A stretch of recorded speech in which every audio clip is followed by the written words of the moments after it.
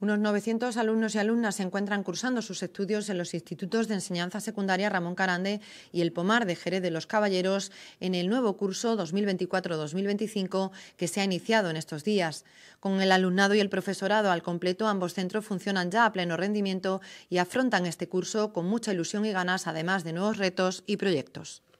Eh, daros las gracias por, venir al centro y sí hemos empezado el curso de una manera más o menos normal, el profesorado todo se ha incorporado, los alumnos también, hemos ido, como comentamos el otro día en la radio, de manera progresiva, con presentaciones el miércoles y ya después inicio de curso el, este jueves. Falta, como comentábamos, los ciclos de, primero de, de, grado medio que se incorporarán este mañana, día 18, y por lo demás, pues sin ninguna incidencia y poco a poco pues vamos retomando esa normalidad. Tenemos los proyectos del año pasado, los proyectos de Innovate, donde tenemos pues Radio Edu, tenemos Librarium, tenemos también, eh, pertenecemos a Revex y también eh, continuamos con proyectos del año pasado, que continuamos con un proyecto de CITE colaborativo y CITE STEAM, eh, los cuales van a continuar este año, además de otros proyectos que el profesorado está preparando y se va a involucrar en el centro, como ya comentamos, como es el proyecto de ayuda entre iguales y el proyecto de mm, intergeneracional, que la idea es colaborar con agentes externos también del centro, con otras instituciones, como mayores, como colegios, como con niños, para crearnos una comunidad, para crear que la comunidad educativa, digamos, del Pomar pueda participar eh, no solo de las clases, sino de actividades culturales formativas complementarias y, por qué no, también extraescolares. Pues nosotros, por lo menos desde el equipo directivo, y, creo que comparte el profesorado conmigo, creemos que es un curso con mucha ilusión, con muchas novedades eh, nuevos alumnos. Eh, tenemos también la, novedad, como ya arrancó el año pasado, de la FP Dual, donde todos los ciclos formativos están dualizados.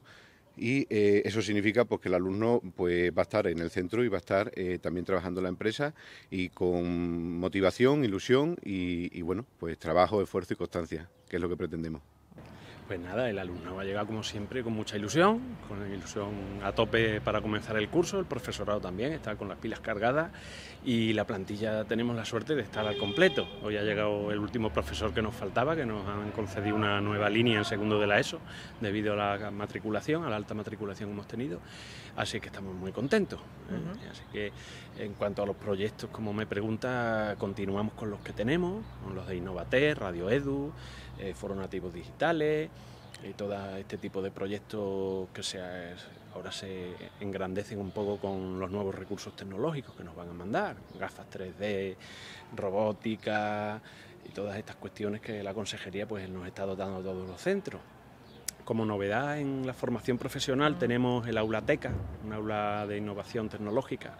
que también nos han dado una dotación importante para pues, que se actualice todo eh, con impresoras 3D, con eh, cámaras de 360 grados, cosas muy tecnológicas que, que hacen que este alumnado de marketing y publicidad pues, pueda también avanzar en su currículum. Pues bueno, el curso esperamos que sea totalmente dentro de los cauces normales, eh, ya la LOLO está totalmente implantada, también para nosotros pues nos facilita un poco la labor con las programaciones y todas estas cuestiones. Y las actividades complementarias y extraescolares que son muy importantes también para todos los centros, incluido el nuestro, pues también empezaremos ahora a diseñarlas, las típicas excursiones, las visitas a museos, etcétera, que, que son actividades que suman siempre en la educación del alumnado y, hacen también una idiosincrasia particular de cada centro.